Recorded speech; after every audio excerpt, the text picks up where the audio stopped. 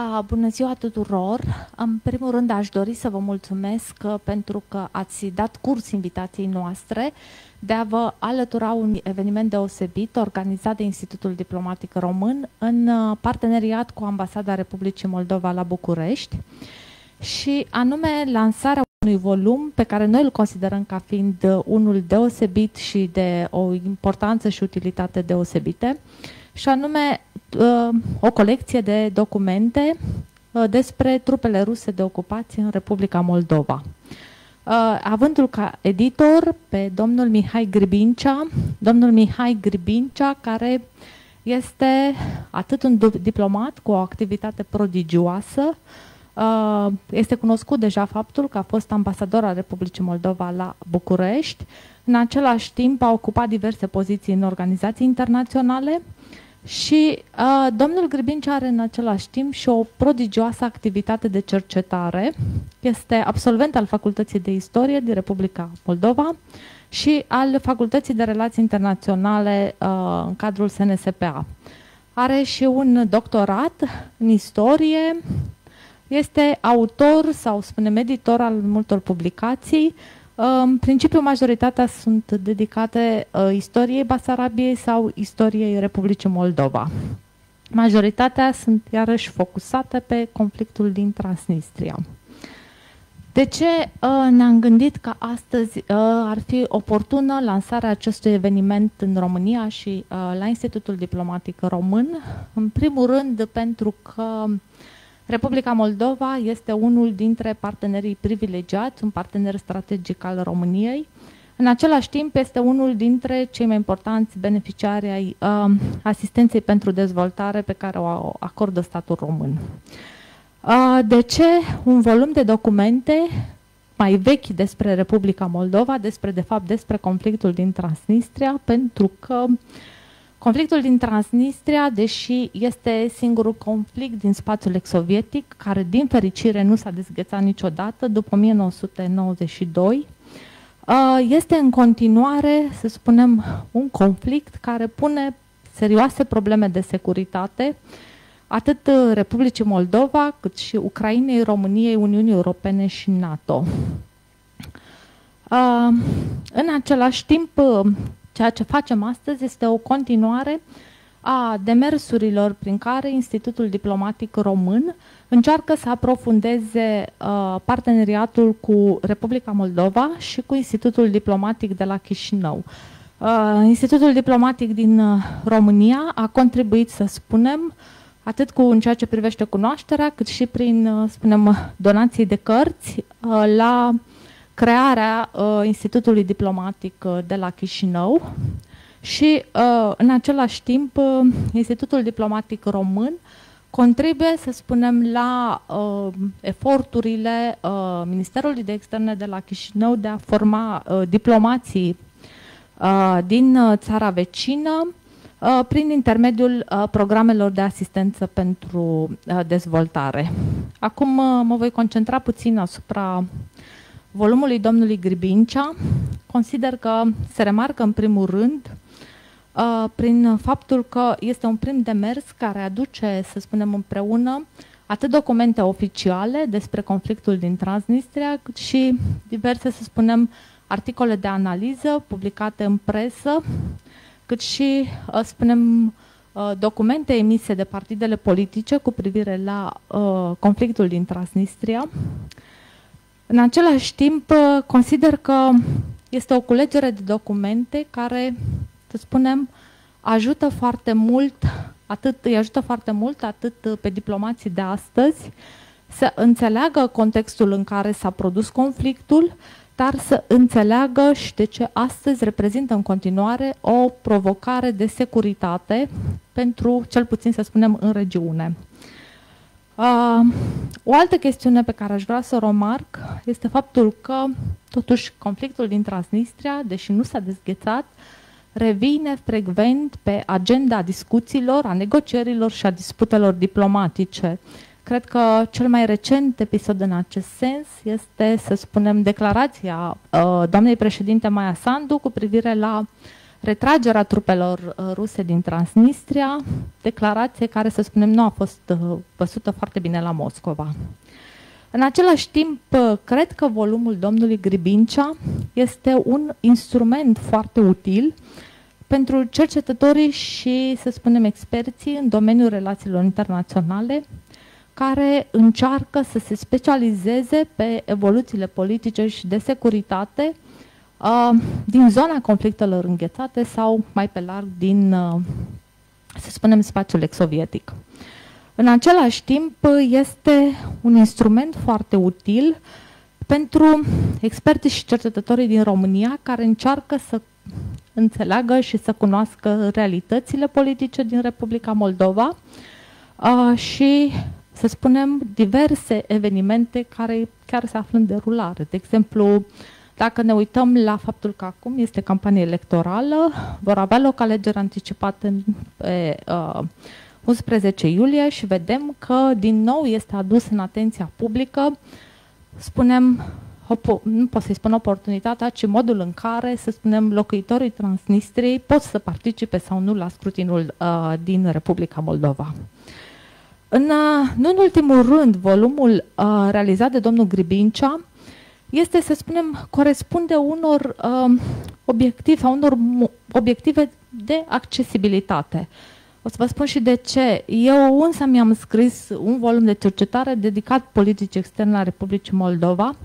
Să știți că, deși sunt documente publice, uh, ele sunt greu totuși accesibile pentru că trebuie să stai să te uiți pe foarte multe colecții de presă de la, din anii 90, Uh, trebuie să stai să te uiți pe foarte multă legislație care adesea nu se mai regăsește online uh, sau pe foarte multe studii pe care nu le mai găsim, s-au publicat, nu știu, de exemplu, pe site-ul uh, diverselor ONG-uri de la Chișinău, dar pe care nu le mai putem găsi acum. Din simplu motiv că o parte din acele ONG-uri, de exemplu, și-au updatat site-ul. Uh, în același timp, consider că este uh, un demers care ar trebui continuat și care nu trebuie să se oprească doar, să spunem, la, uh, cred că ultimii ani sunt uh, undeva până prin 2005, da.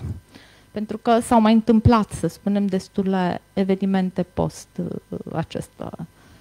Da, este, dar uh, după cum uh, bine semnalează uh, domnul Gribincea și cum se e menționat și pe copertă, este de-abia volumul întâi. Uh, și în același timp, cred că domnul Grbincea merită felicitări pentru că, cred, în opinia mea, a realizat o muncă titanică.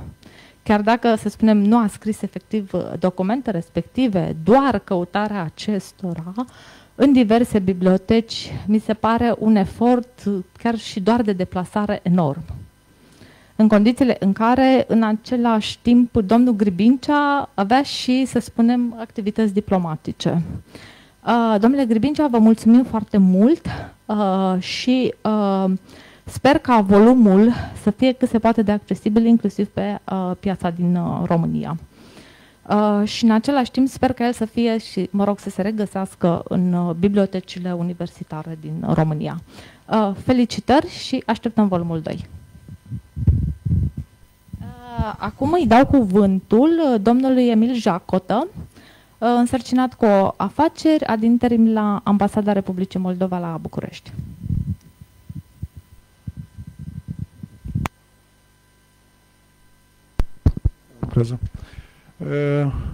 Bună ziua și Hristos a înălțat.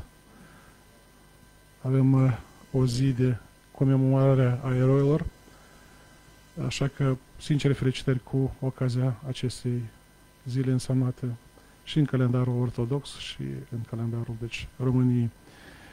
Uh, stimată doamnă director, excelență, distinși oaspeți, uh,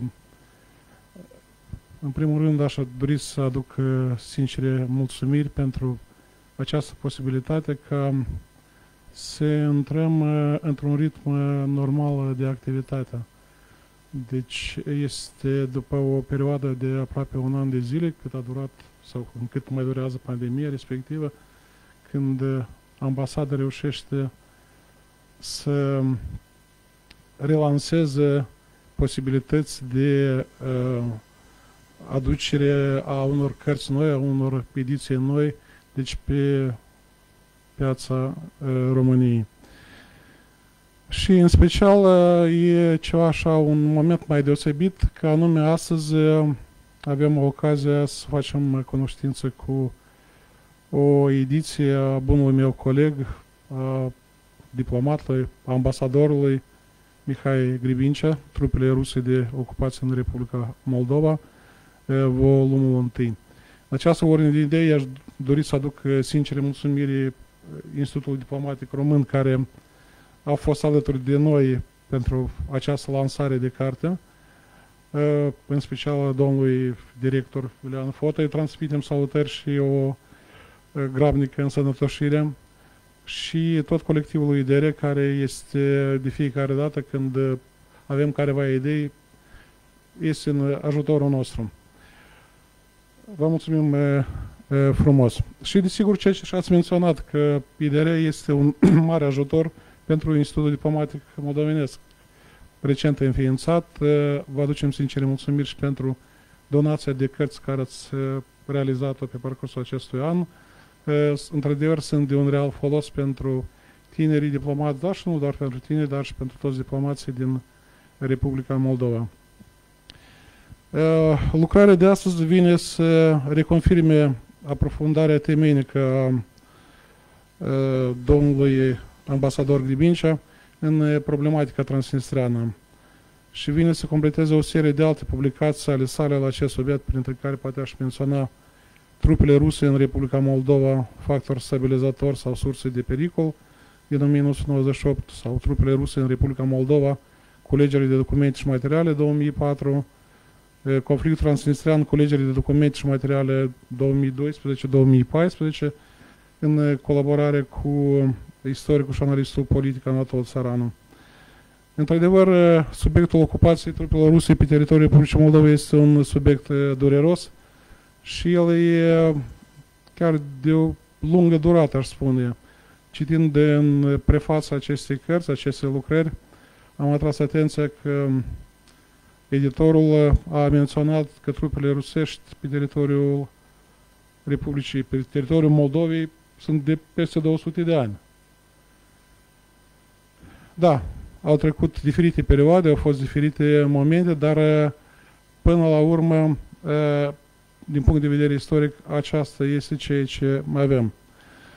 Desigur, acest subiect este unul constant pe agenda Ministerului Afacerilor Externe de la Chișinău și suntem foarte bucuroși că nu doar la noi în Chișinău subiectul dat este unul foarte important, dar și pe agenda Ministerului de Externe de la București. Țin să menționez însăși faptul că pe data de 27 mai, în cadrul recentei reuniuni a ministrilor de externe a UE în format Gimnich, pentru prima dată a fost lansată ideea și discutată, deci subiectul conflictelor prelungite sau noi spunem conflictelor înghețate inclusiv și în problematica transnistreană.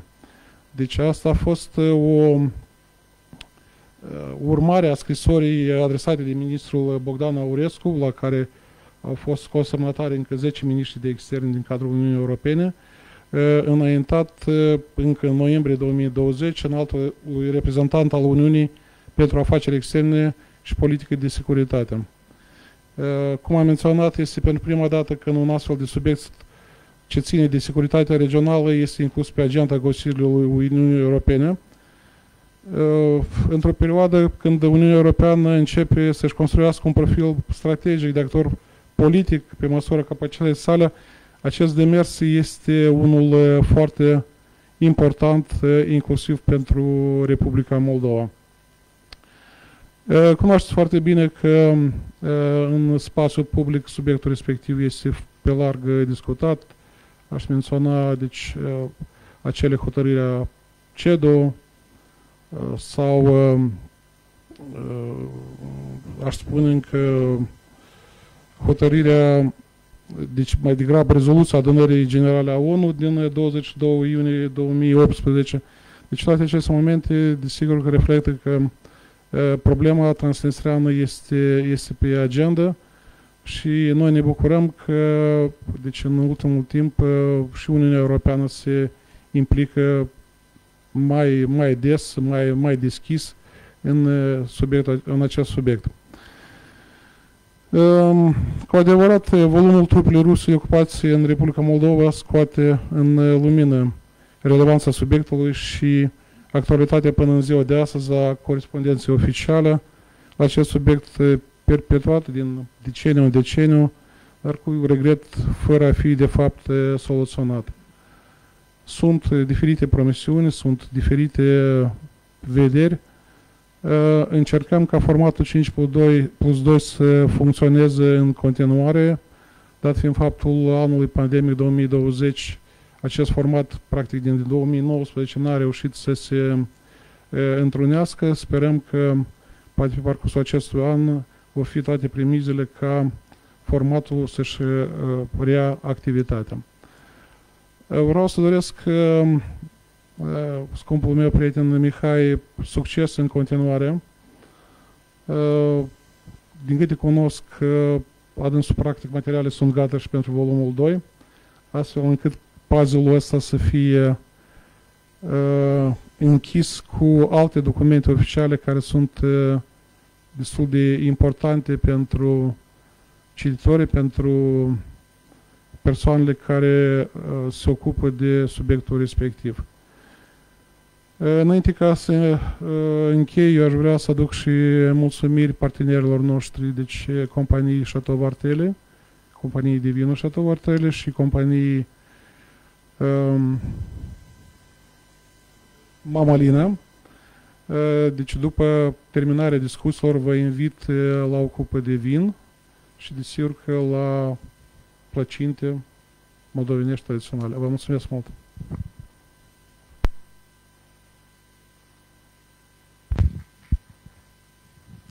Domnul Gribincea, este rândul dumneavoastră. Onorată asistență, uh, bună ziua, Hristos s-a înălțat. În primul rând uh, vreau să mulțumesc participanților care, să vă mulțumesc că ați dat curs invitații de a participa la această lansare de carte. Vreau de asemenea să mulțumesc organizatorilor acestui eveniment, Ambasadei Republicii Moldova la București și echipei misiunii în frunte cu domnul sărcinat cu afaceri Emil Jacotă, și în paranteză fie spus, cred că e un act de curaj faptul că domnia sa a decis să uh, organizeze acest eveniment. Uh, volumul pe care am onoarea, uh, mă scuzați, de asemenea multe mulțumiri Institutului Diplomatic Român și domnului director Iulian Fota pentru că ne găzduiește în această frumoasă sală de conferință. Volumul pe care am onoarea să-l prezint ca editor a apărut la prestigioasa editură Cartier de la Chișinău și pe această cale vreau să mulțumesc, să-i mulțumesc domnului director al editurii Gheorghe Erizeanu, care a considerat utilă publicarea acestei lucrări. Ca, iarăși ca o paranteză pot să spun că lucrarea din 98 care uh, a fost menționată aici, trup, uh, trupele ruse în Republica Moldova, factor stabilizator sau sursă de pericol, avea aceeași denumire ca și, același titlu ca și uh, volumul de astăzi, doar că editura a refuzat să publice cartea cu un asemenea uh, titlu la acea oră, considerând că uh, ar, fi, ar, ar putea avea mari probleme. Interesul meu față de subiectul abordat în acest volum este unul vechi, aș putea spune.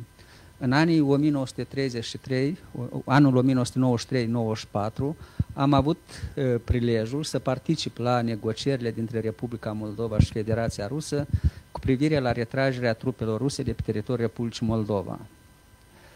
Am participat la trei runde de negocieri, rundele a șaptea, a opta și a noua, uh, și a fost o experiență foarte interesantă, dar și începutul unei îndelungate perioade de colectare a documentelor legate de subiectul prezenței militare ruse în Moldova, precum și a conflictului transnistrian.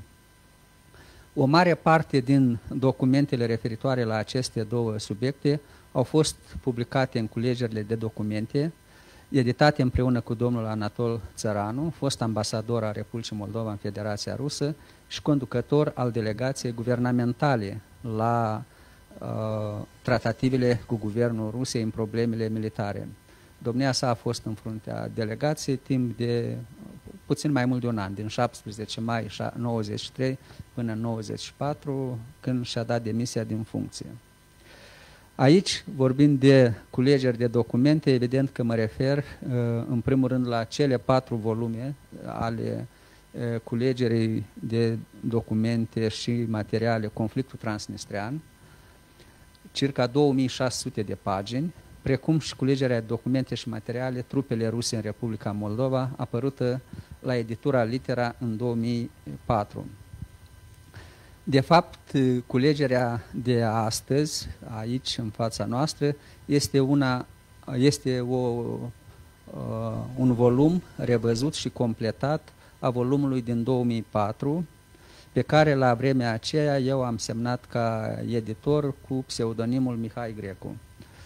Uh, iarăși am folosit acel pseudonim pentru că nu era foarte ușor să uh, fii diplomat și să publici asemenea, asemenea uh, lucrări. Și așa cum ați menționat, deja acest, de fapt, volumul 2 al acestei culegeri este în prezent la editură la Chișinău și ar trebui în această vară să iasă de sub tipar. În total, culegerea va cuprinde 620 de documente reproduse în original, în română, rusă, franceză, engleză și chiar în ucraineană, fiind prezentate în ordine cronologică. În prefață am încercat să fac un mic uh, studiu uh, al subiectului și de fapt vorbesc despre istoricul trupelor ruse, despre constituirea grupului operativ uh, de trupe ruse în Transnistria, pentru că el a, a, din denumirea armatei a 14 a fost schimbată în grupul operativ de trupe ruse în anul 1995 vorbesc despre așa numitele trupe ruse de pacificare, uh, vorbesc de asemenea despre, și sunt incluse foarte multe documente, inclusiv la forțele armate ale pretinsei remene, pentru că, uh, în opinia mea, acele trupe sunt de asemenea trupe de ocupație, în fapt, pentru că ele fac parte din sistemul uh, de apărare al Rusiei, ele sunt incluse în uh, uh, toate planurile lor de uh, activități, se fac cantonamente în comun cu trupele ruse din Transnistria și așa mai departe. Deci un mic paragraf este despre aceste forțe armate ale pretensiei remene.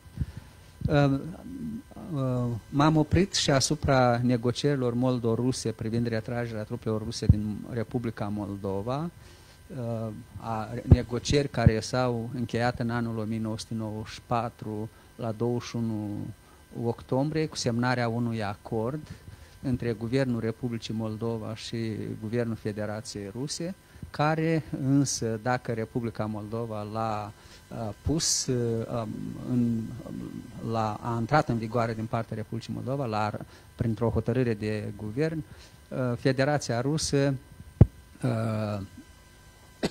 a refuzat să mai ratifice acest acord și, de fapt, au fost niște negocieri care au consumat doar timp și multe eforturi, dar fără a, a atinge, fără ca să ne atingem scopul.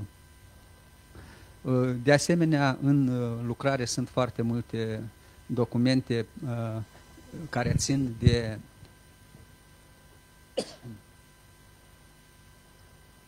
mă scuzați, aer condiționat îmi creează probleme. Sunt foarte multe documente care țin de negocierile în legătură cu tratatul CFI și um, aceste documente arată aceleași, de fapt, același stare de fapt că Rusia, pe parcursul anilor, încerca să folosească diferite tertipuri sau căuta diferite căi pentru a-și legaliza prezența militară rusă pe teritoriul Republicii Moldova, dar despre aceasta voi vorbi un pic mai pe larg, puțin mai jos. Și în sfârșit, ultimul uh, subiect abordat în acea prefație, dar care își găsește în toate, își va găsi în toate, de fapt, pe parcursul volumelor, uh, iarăși reflectarea, este uh, problema retragerii trupelor ruse uh, de pe teritoriul Republicii Moldova și Organizația Națiunilor Unite, așa cum s-a menționat deja uh, în anul 2018, uh, fiind adoptată o rezoluție cu privire la retragerea trupelor ruse din Moldova. Eu aș vrea ca să fie o, mai mult o discuție cu dumneavoastră și aș vrea, înainte de a avea această discuție, să punctez doar câteva concluzii care cred eu că, citind aceste documente, la, putem ajunge la asemenea concluzii și, de fapt, documentele din această uh, uh, lucrare uh, ne permit să facem asemenea concluzii. Uh, primul, prima concluzie este că în perioada sovietică trupele ruse de pe teritoriul ce alcătuiește astăzi Republica Moldova au avut statutul unor trupe de ocupație. Asta deși eram în cadrul URSS. Acest statut rămâne același pentru 11% din teritoriul Republicii Moldova. Am în vedere teritoriul controlat astăzi de autoritățile separatiste de la Tiraspol. Al doilea, a doua concluzie este că separatismul transnistrian a apărut și a fost încurajat inițial de forțele reacționare de la Moscova, care vedeau în crearea unor republici separatiste pe teritoriul Republicii Moldova o pârghie de a forța Chișinăul să accepte intrarea într-o nouă Uniune Statală, pe care atunci dorea să o salveze Mihail Gorbaciov. După puciul de la Moscova din, anul, din august 1991, Moscova a susținut separatismul pe teritoriul Republicii Moldova pentru a împiedica o eventuală unire a Republicii Moldova cu România, precum și a păstra un cap de pod sau un avampost al Rusiei în regiune, după, după cum le place să titreze ziarelor rusești. O altă concluzie. Un șir de documente din volum ilustrează că forțele separatiste din Transnistria au fost consiliate, echipate și înarmate de către militarii armatei a 14-a. În continuare, că trupele ruse dislocate în Transnistria, la ordinul Moscovei, s-a implicat în conflictul de pe Nistru, ce în aparență era unul dintre autoritățile de la Chișinău și cele de la, Tera, de la Tiraspol, transformându-l într-un război moldorus. Dovadă a acestei stări și o recunoaștere a caracterului interstatal al conflictului a fost semnarea la 21 iulie 1992 de către președintele rus Boris Yeltsin și cel moldovean Mircea Snegur a acordului cu privire la principiile reglementării pașnice a conflictului armat din zona nistreană a Republicii Moldova. Igor Smirnov, liderul separatiștilor din Transnistria, deși a fost prezent la ceremonia de semnare, el nu și-a pus semnătura pe document.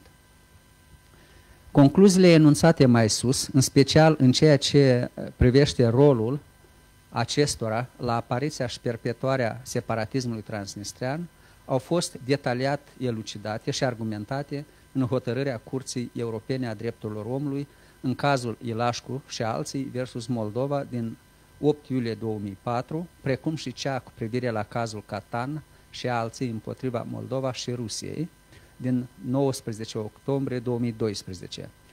Printre altele, în hotărârea CEDO din 8 iulie 2004 se arată că În timpul conflictului, citez, în timpul conflictului moldovenesc din anii 1991-92, forțe ale armatei a 14-a, care a aparținut succesiv URSS-ului, CSI-ului și apoi Rusiei, staționate în Transnistria, au luptat alături și pentru forțele separatiste transnistriene.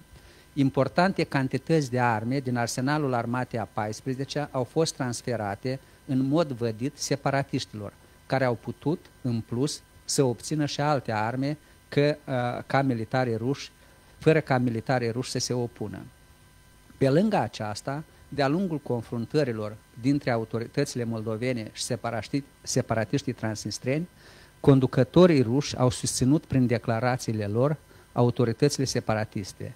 Astfel, autoritățile ruse au contribuit atât militar cât și politic la crearea unui regim separatist în regiunea Transnistriei, care face parte din teritoriul Moldovei. Chiar și după armistițiul din 21 iulie 1992, Rusia a continuat să susțină din punct de vedere militar, politic și economic regimul separatist, permițându-i astfel să supraviețuiască și obținând o anumită autonomie față de Moldova.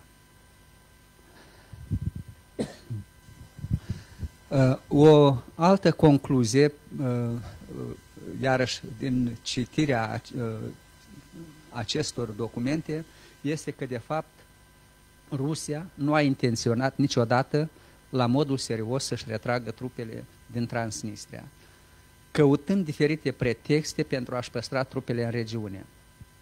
În problema retragerii trupelor, trupelor, Moscova a avut o politică duplicitară, una declarând în forurile internaționale și cu totul alta pentru consumul intern și în relațiile bilaterale cu, Moscova, cu Moldova. Chiar dacă la începutul anilor 90 anumiți politicieni ruși admiteau o posibilă retragere a trupelor din uh, Rusia din Moldova, elita militară rusă s-a opus constant acestei idei. La 27 mai 1992, de exemplu, Boris Yeltsin a anunțat intenția Rusiei de a-și retrage trupele din Moldova. Dar declarația a provocat o serie de obiecții din partea generalilor ruși. Prima obiecție era că militarii trebuiau reîncartir, reîncartiruiți. Retragerea este nerealistă și imposibilă, l-a contrazis pe Yeltsin generalul Stolearov, șeful Comitetului pentru Problemele Personalului din Forțele Armate Unificate ale CSE. Din simplu motiv că astăzi nu există un loc pentru dislocarea armatei. Este vorba de 200 de mii de ofițeri și subofițeri care nu despun de apartamente în Rusia și este pur și simplu nechipzuit să sporește acest număr. Generalul Netkaciov, comandant al armatei a 14 la acea dată, a pus la îndoială declarațiile lui Yeltsin pentru, ca, pentru că majoritatea militarilor din armata a 14 spunea el, sunt locuitori ai Transnistriei. Mă îndoiesc că retragerea poate fi ușor realizată, pentru că mai mult de jumătate din personalul unităților îl constituie localnice. Localnicii, spune Netcaciov. Ministrul apărării Pavel Graciov l-a contrazis pe Yeltsin, invocând motive de ordin juridic. Citez, retragerea poate avea loc numai dacă va fi semnat un acord special între cele două state și aceasta se poate face numai după ce conflictul din această zonă va fi rezolvat. Același Pavel Graciov, cu puțin timp înainte de escaladarea conflictului armat din vara anului 1992 de pe Nistru, va da generalului Netkaciov, comandantul trupelor ruse din Transnistria, următorul ordin. Având în vedere că Transnistria este pământ rusesc și, și situația acolo s-a agravat, trebuie să-l apărăm cu toate mijloacele și pe toate căile. Pentru aceasta se ce, vi se cere 1 să fie completate din rezervele pentru mobilizare toate unitățile militare ale armatei a 14-a dislocate pe teritoriul Transnistriei. 2. Să fie aduse în stare de pregătire de plină de luptă toate unitățile militare. 3. Să fie deblocate toate unitățile militare pentru a face posibil deplasarea tehnicii de luptă. După primirea acestui ordin, conducerea armatei a 14-a a început să transmită în mod masiv armament separatiștilor. Tot în anul 1992, conducerea militară a Rusiei a elaborat un plan de anexare a Transnistriei la Rusia. În mai 1992, generalul Stolearov, amintit de mai sus, a discutat acest plan cu conducerea separatistă a Transnistriei. La discuție au participat și ofițeri de rang superior din armata 14 -a. În cadrul acelei întrevederi, generalul Stolearov a declarat că armata 14 nu va fi retrasă din Transnistria pentru că ea apără interesele strategice ale Rusiei în regiune. Apropo, în aceeași perioadă de timp, uh, comandantul districtului militar uh, Odessa spunea că Moldova nu poate să obțină independență pentru că prea mult sânge au vărsat ostașii ruși în anul eliberării în 1940. Nu știu care an al eliberării și, cât, uh, și ce sânge s-a vărsat. Luând cunoștință cu documentele din culegere, ne mai convingem despre faptul că după încheierea războiului moldorus pe Nistru, Rusia a folosit diferite tertipuri pentru a-și păstra trupele ruse, care au devenit un, scut de, apăra, un scut de apărare al autorităților separatiste. Deși la 21 octombrie 1994 Moscova a semnat un acord cu privire la statutul juridic, modul și termenele, termenele de retragere a formațiunilor militare ale Federației Ruse, aflate temporar pe teritoriul Republicii Moldova, prin care s-a angajat să-și retragă trupele pe parcursul a trei ani din ziua intrării în vigoare a prezentului acord, acordul nu a mai fost ratificat de către Duma de Stat a Rusiei. În același timp, Rusia încearcă să folosească de prevederile tratatului cu privire la forțele armate convenționale în Europa, tratatul SEFI, pentru a-și legaliza prezența militară în Moldova. La 9 februarie 1995, șeful statului major al forțelor armate, Kolesnikov, s-a adresat Ministerului Apărării a Republicii Moldova, Pavel Creangă, cu solicitarea ca Moldova să transmită Rusiei cotele sale de arme convenționale prevăzute de tratatul CFE. Se dorea legalizarea pe teritoriul Moldovei a 120 de tancuri, 166 de mașini blindate și 129 sisteme de artilerie cu calibru mai mare de 100 de milimetri. De, de exemplu, puteți vedea acel demers în volum documentul 190. Uh, evident că uh, Republica Moldova a respins această ofertă și atunci uh, Pavel Graciov, ministrul apărării, a vizitat Moldova pe 26-27 iunie, în care a propus conducerii Republicii Moldova crearea unei baze militare rusești pe teritoriul uh, Moldovei. Uh, în acea perioadă, uh, Rusia își schimbase, adoptase o nouă doctrină militară privind de fapt prezența trupelor ruse peste hotarele țării și în noua doctrină militară din 93 se admitea sau se dorea de fapt crearea de baze militare în statele din, fost, din uh, fostul spațiu sovietic. Uh, pentru că Republica Moldova n-a dorit deci, să transmită cotele conform tratatului CFI, în uh, peste două luni, de fapt, deja în octombrie sau trei luni, Moscova propune o altă variantă care era, de fapt, era posibilă conform tratatului SEFI și anume ca să fie amplasate temporar pe teritoriul Republicii Moldova 116 tancuri, 56 mașini blindate și 93 de sisteme de artilerie. Ă, propunerea, evident, a fost respinsă de Chișinău. De ce vorbesc ă, de aceste încercări ale Moscovei? Pentru că ă, ele, de fapt, ne conduc la ideea că acest lucru nu este dorit nici în prezent. De exemplu, deja după ocuparea Crimeei, Rusia a început să-și motiveze imposibilitatea de a-și retrage trupele din Transnistria prin faptul că este conflictul ucrainean și și că nu se, poate, nu se pot retrage trupele. Astfel, de exemplu, Sergei Gubarev, ambasadorul cu însărcinări speciale al Ministerului Rus, la 7 aprilie 2016 declara în cadrul unei discuții cu jurnaliștii la centru de presă că trupele și munițiile armate a 14 rămas în Transnistria nu pot fi evacuate, pentru că în Ucraina, țară de tranzit, e un conflict militar.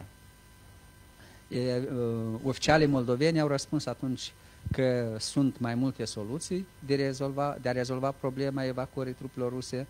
Unu, o parte din muniții pot fi casate pe loc, așa cum s-a întâmplat în anii uh, 1999-2002, um, că trupele pot fi evacuate pe calea aerului sau prin portul Giurgiulești și, în ultima instanță, Ucraina este disponibilă să ofere pe teritoriul său un coridor verde pentru retragerea uh, trupelor ruse din Transnistria. Uh, în, în același idee uh, vreau să spun că nu știu cât timp mai am ca să nu vorbesc prea mult, voi spune că în anul 2013 în timpul unei vizite la Moscova a doamnei ministru de externe Natalia German, uh, uh, ministru de externe Lavrov, a ea înmânat de fapt pentru prima dată un document, se numește uh, un ed-memoar, ar fi, poiasnite în zapiscă, dacă așa se traduce, un ed memoar în care pentru prima dată noi, ca parte moldovenească la discuții și negocieri cu partea rusă, am văzut argumentele sau o justificare scrisă din partea Rusiei a motivelor aflării a trupelor ruse în Moldova. Ehm, evident că este aceeași, eh, în general, e aceeași eh, eh, narațiune, aș putea spune, despre rolul constructiv al trupelor ruse în rezolvarea conflictului, în reglementarea transnistreană, dar a apărut și un element nou că uh, Rusia, uh, acum să spun, cei care susțin că guvernul moldovean nu a dat niciodată consimțământul necesar pentru desfășurarea trupelor rusești, trec cu tăcerea o circunstanță importantă. Chestiunea nu poate fi pusă alt, astfel, din motiv că trupele nu au fost introduse în Moldova după ce aceasta și-a obținut suveranitatea. Deci, practic, spune, spun că a, erau acolo, practic trebuie să rămână acolo. Evident că se ignoră faptul că au fost semnate acordul din 94, au fost angajamentele Rusiei luate la Istanbul, angajamentul Rusiei de a-și retrage trupele în termen de trei ani când a, intrat, când a fost admis în Consiliul Europei și așa mai departe. Deci, în principiu, se uh, face o legătură între uh, uh, re, procesul de reglementare a conflictului și prezența trupelor ruse. Mai mult, în, aceeași, în același memoar, se încearcă o justificare a prezenței trupelor ruse în baza acordului de încetare a focului din anul 1992, deși uh, deci, uh, nu are de a face nimic uh, acel acord cu prezența trupelor ruse, pentru că prin acel acord s-au stabilit niște trupe așa numite de pacificare, trilaterale, și inclusiv prin același acord uh, se arată că uh, datorită politizării uh, care a avut o armată a 14 -a și implicării ei în conflictul din Transnistria, nu pot fi antrenate trupe din fosta armată a 14 -a în misiunea de pacificare. Evident că în timp lucrurile au evoluat. În anul 1995 Rusia în mod unilateral, dacă până în 1995 pentru trupele de, pacific, trupele de pacificare, așa numite, erau aduse din uh, Rusia. Din 1995 au început să fie uh, au început să fie antrenate uh, trupe din uh, grupul operativ de trupe ruse din Transnistria, Armata 14 de fapt rebotizată pentru a ascunde, deci a, a fost un tertip pentru a, a încerca să lege cumva prezența trupelor ruse din Transnistria cu acele, acel acord din 1992. Probabil ar trebui să spun că în sau o concluzie pe care aș vrea să o fac și atât ca participant la acele negocieri, cât și ca un om care am încercat să studiez mai mult timp acest subiect, este că Moldova a pierdut, de fapt, momentul când acele trupe puteau fi retrase și am în vedere în primii ani ai, de după independență.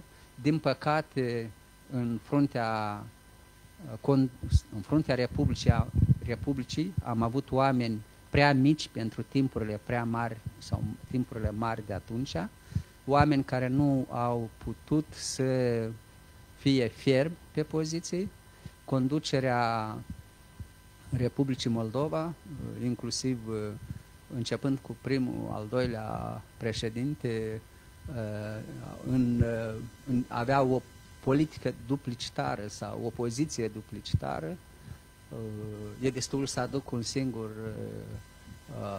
exemplu. În 1998, de exemplu, între Transnistria și Rusia a fost semnat un uh, protocol de transmitere a armamentului și deși noi la Ministerul de Externe blamam uh, în toate părțile partea rusească, aflăm de la ambasadorul rus la Viena că de fapt, uh, de fapt acela iritat într-o ședință spune ce atâta ne blamați. Am avut acordul oral al președintelui Lucinski.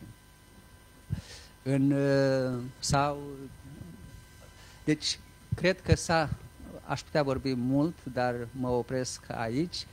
Uh, cred că s-a uh, pierdut o perioadă importantă.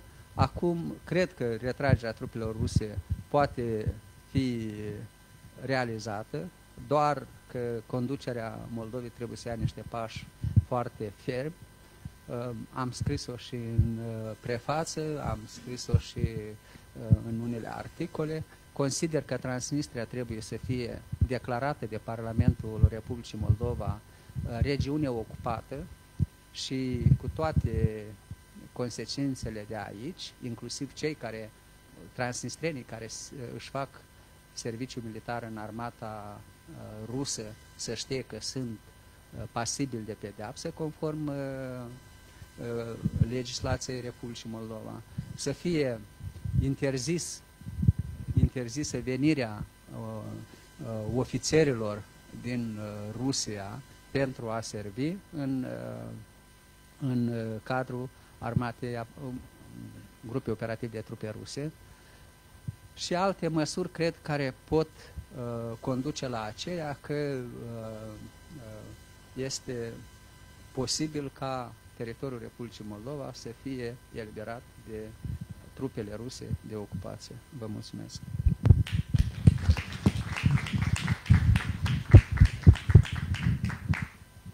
A, acum nu ne rămâne altceva de, de făcut decât să dăm uh, curs intențiilor domnului ambasador uh, de a angaja discuții. Prin urmare, așteptăm întrebări, comentarii, observații.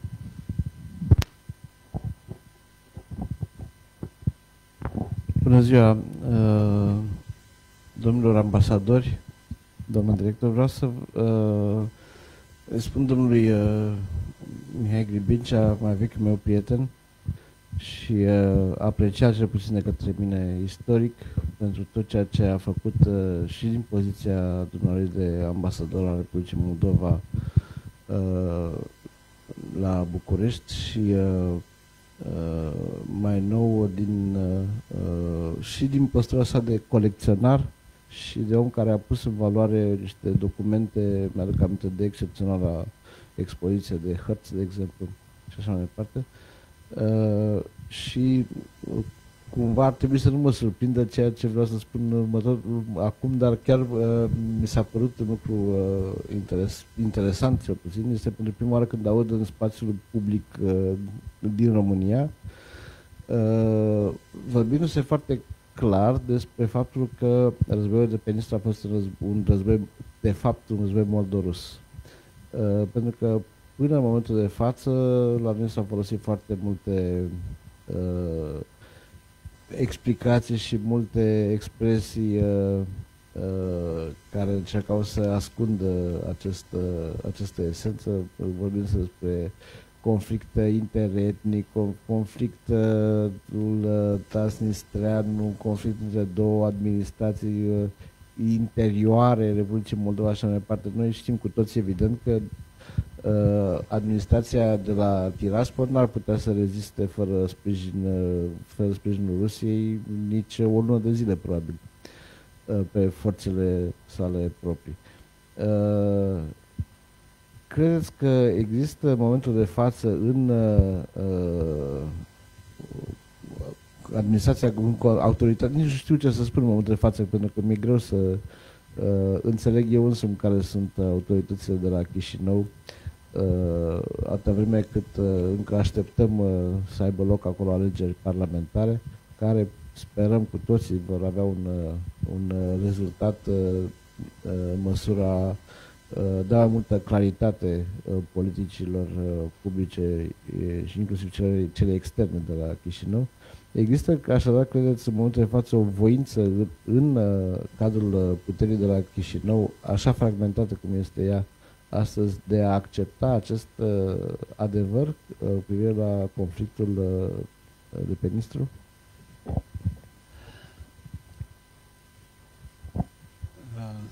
Aș spune în felul următor, că, uh, deci, uh, uneori m-am simțit în uh, postura de propagandist, pentru că acel, aceste, deci unele documente și articole aș putea fi acuzat de plagiat. Le-am tot publicat sau autoplagiat. Le-am publicat și republicat cu gândul că va ajunge la anumiți factori de decizie adevărul despre ceea ce se întâmplă la Chișinău.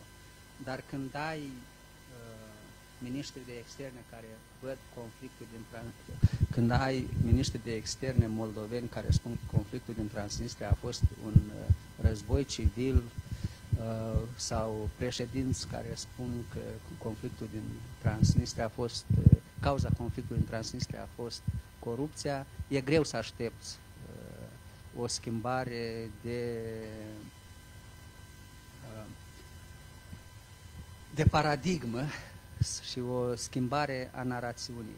Uh, foarte mulți politicieni au o teamă pentru mine inexplicabilă față de Rusia și ce va spune Rusia dacă eu ca politician acționez într-un mod sau altul.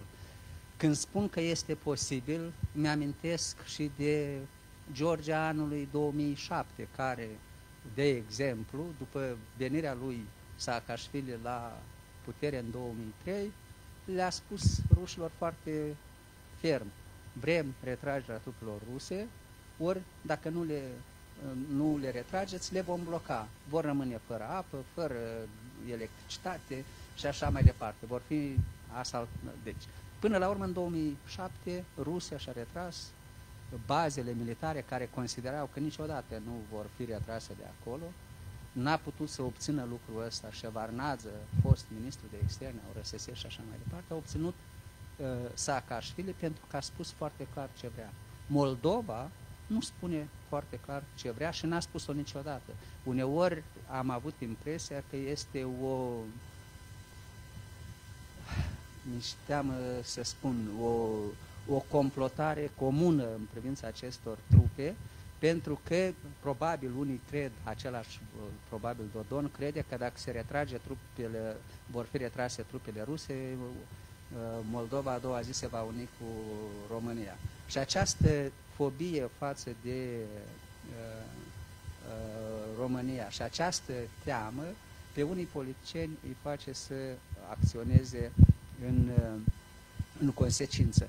Eu sper foarte mult că vom avea o schimbare a elitelor politice de la Chișinău, uh, deși tendințele arată că nu neapărat spre, uh, sunt spre bine, dar nu, nu poate să dureze la nesfârșit această, această duplicitate. Exemplu concret, din primul, în primul prima vizită a domnului Voronin ca președinte la Moscova, se duce, vorbește uh, despre rolul stabilizator și uh, al uh, trupelor ruse în Transnistria în 2001, vine peste trei luni la București și același președinte spune că optăm pentru implementarea deciziilor de la Istanbul. Un observator străin ce să înțeleagă din această duplicitate a mesajelor care sunt din partea conducerii Republicii Moldova. Deci, faptul că sunt trupele ruse în Moldova este nu doar, să spunem așa, vina Rusiei. Vin, Rusia își uh, urmărește interesul. O mare parte din vină o are conducerea uh, Moldovei de-a lungul tuturor anilor, cu mici excepții, care n-au spus foarte clar ce vor și ce își doresc de la aceste trupe. Sau au spus-o pe jumătate de voci.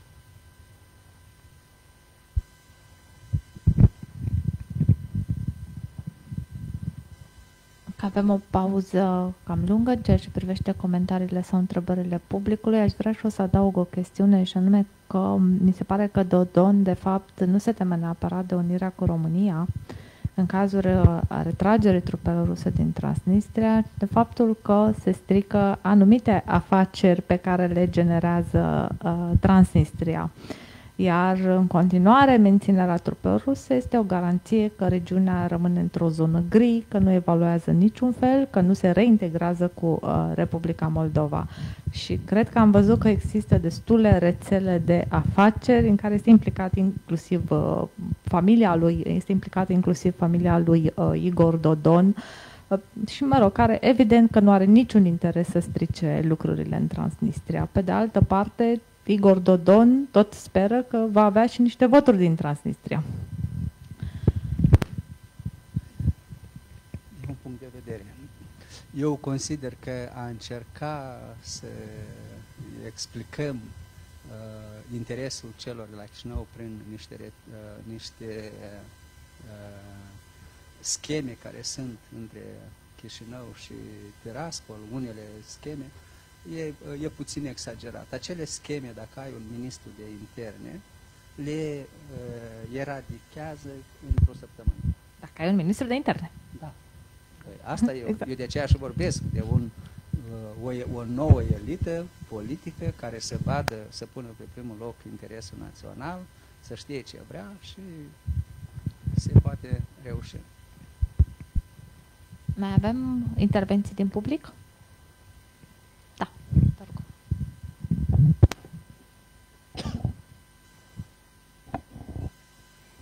Bună ziua, numele meu este Cristina Gârlea și sunt șef de sector la Academia Rom. Uh, aș vrea să exprim un punct de vedere al meu personal, nu neapărat al prezidului Academiei Române. Mai aproape? Da, imediat.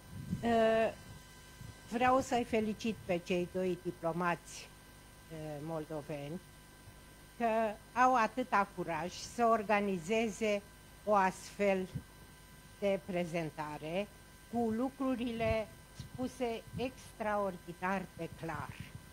Sunt puține locuri unde oamenii se mai află în acest retranșament care vrea să mențină România și din acest motiv cred că noi toți, cei care suntem aici, domnii ambasadori, uh, istorici militari, domnul consilier prezidențial, uh, doamna ministru, domnul vicepreședinte al ariilor protejate și l-a tot pe list uh, un reprezentant al Bisericii Ortodoxe Române.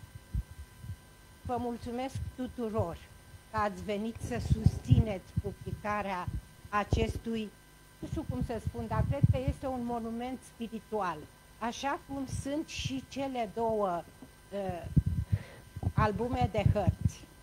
Uh, pe unul dintre ele este coautor la cel al Transilvaniei și domnul președinte al Academiei Române.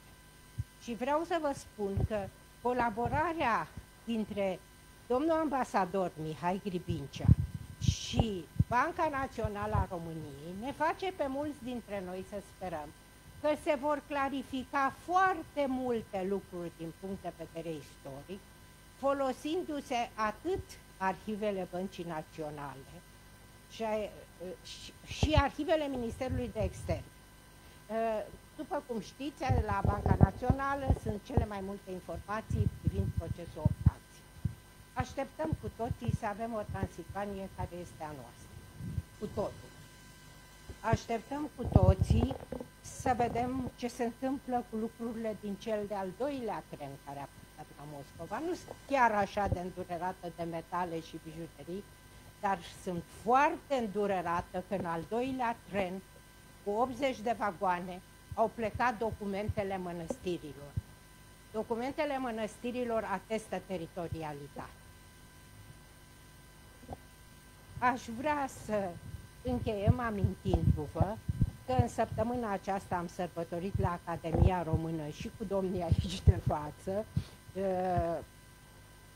200 de ani de la nașterea lui Cepletean. Vă rog să revedeți în minte sau în documente testamentele brăteni. Pentru că se fitează exact pe această chestiune pe care a prezentat-o atât de documentat domnul ambasador aici. Cred că vrem cu toții o Românie mare. Vă mulțumesc!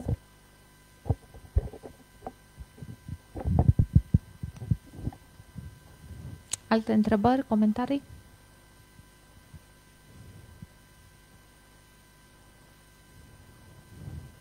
Dacă nu mai avem intervenții din public, uh, eu vă invit să vă bucurați de bunătățile moldovenești în uh, minunata grădire, uh, grădina Institutului Diplomatic Român. Vă mulțumesc încă o dată pentru participare și vă așteptăm la alte evenimente organizate de Institutul Diplomatic Român. Multă sănătate!